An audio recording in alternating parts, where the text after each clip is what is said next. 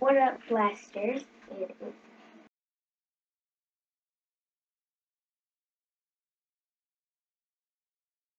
I don't know if you know or not. Um, I'm in love with FNAF, which is Five Nights at Freddy's. Not obsessed, but I do like watching videos on them and people thinking that they're going into there and finding the fake stuff and all that cool stuff. So, this thing is called The Bite of 87, the story behind Foxy biting a little child. So, I'm going to read half of it and then skip through some of it because it's really long. It's like 20 minutes long. I just sat there one day and just read it all. So, I thought, might as well read it to my fans and. Okay. Freddy Fazbear's Pizza, a magical place for kids and grown-ups alike where fantasy and fun comes to life. At least the ads say so. In reality, the place is not great. You know, the pizza tastes like cup cupboard, and it's not really that fun in here. But maybe it is only me anyway. The pizzeria is obviously not famous for its pizza, but it's an electronic band. There is Bonnie the bunny, Chica the chicken, Foxy the fox, and of course Freddy Fazbear. Things make the whole PR they attract a lot a lot of kids. But not only kids. The animatronics also attracted a grown up a grown up man Paddings. This guy can be described with one word. Weirdo. He looks weird, he acts weird, and he also smells weird for some reason. But Freddy's chef Mason Saints hired him anyway. Of course, because Simon almost works for free and also does the night shift. Mason didn't understand why he was so urged to work here, but he also didn't want to find out. The real reason behind Simon Appliance was not the money. The strange Simon was the reason was straight up bizarre, even for him. Simon is neither straight nor gay. Simon is about sexual. He loves object he loves objects. And Simon fell in love with animatronics. That's the reason why he spends his whole day in the pizzeria. Honestly, he even the night shift more than he can be alone with his loved ones. So it's pretty much saying Simon, is that his name, is not gay and he's not straight. So he um, likes sex in a weird way. I don't know so he works the night shift. Mason Saint had a daughter, which was 12 years old, too old to like the pizzeria with its stupid childish robot plushies. But sadly, she was forced to stay with her dad in the pizzeria, so she invited friends once in a while. Once in a while, they were at the party room before the show starts. Hello, kids, and welcome to Freddy Fazbear's Pizza. They show it.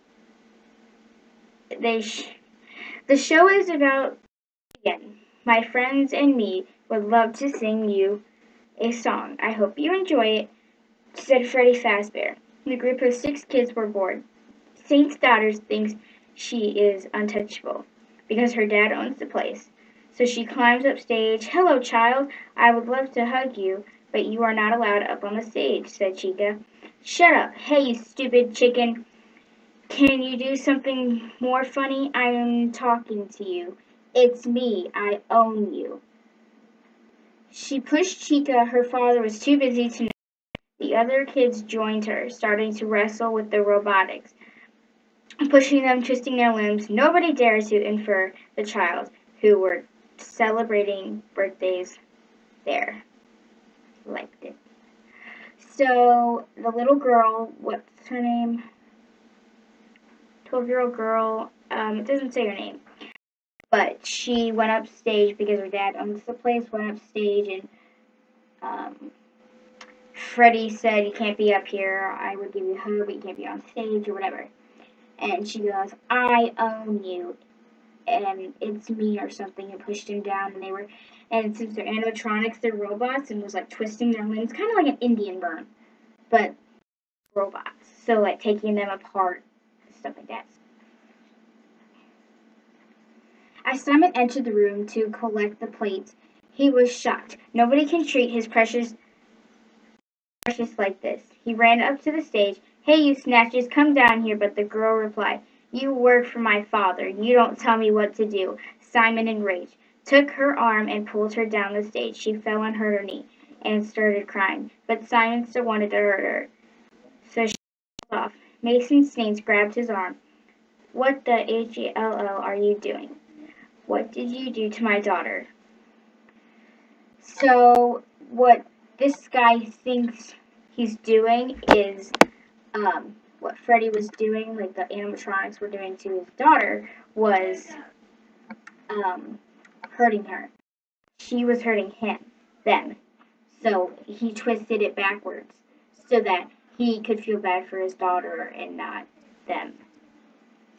If that makes sense. In Saint's office, Simon tries to explain what happened and that he can't be blamed for what happened, but Saints was mad at him. I would fire you, but you're short, short in employees, so you are thin ice. Now leave and go back to work and stay away from the animatronics. You spend much time near, much too, much time near the stage. As Simon was about to leave the office to start his night shift, Saint said, do you ever let, don't you ever let that happen again? And he said, and then he said, I won't, he whispered. So, Saint's office, and si okay, so Simon is the weirdo, and Saint is the one who owns the place. Um, so, Simon saw it happen, and Saint was in his office. So that's the night shift will be enough time. Simon has a degree in animatronics, which is also a reason why he loves the character so much. He can be a genius if he has enough motivation. In five nights, he upgraded all the animatronics. He called his work the ASDM, the Animatronic Self-Defense Machine.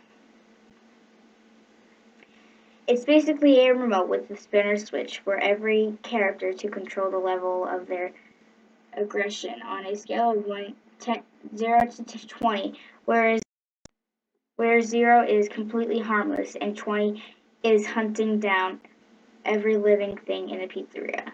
He switched every character to 1, which means gently pushing back people if they are messing with them.